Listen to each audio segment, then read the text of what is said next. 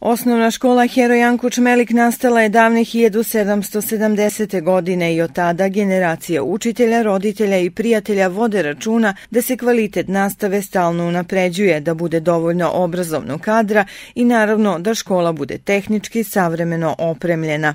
U obrazovnom vaspitnom procesu možemo reći da su tri neka stuba, gde je jedan stup ili jedan trougao, gde u jednom temenu škola, u drugom temenu su učenici i roditelji, u trećem temenu je društvena zajednica i da bismo imali dobar rezultat, znači e, proizvod tog vaspitno-obrazovnog rada, jednu mladu, uspešnu, obrazovanu generaciju, saradnja između ova tri činioca mora da bude fantastična. U okviru proslave Dana škole u Staropazovačkoj pozorišnoj sali priređen je zabavni jedno i počasovni program u kom su nastupili učenici svih razreda ove škole. Publika je uživala u igri, pesmi, recitacijama, pozorišnim odlomcima uz pratnju školskog orkestra.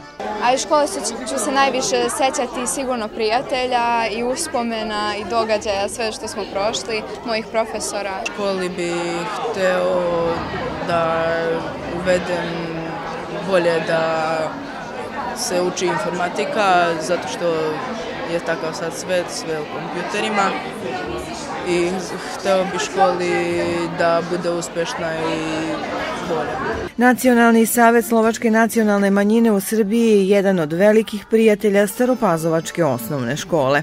Drago mi je kad dolazim upravo na dan škole Hero Janko Čmelik zbog toga što sam ja pohađala ovu školu, ovde sam naučila da pišem, ovde sam naučila da čitam, ali sam jedno vreme i radila u ovoj školi.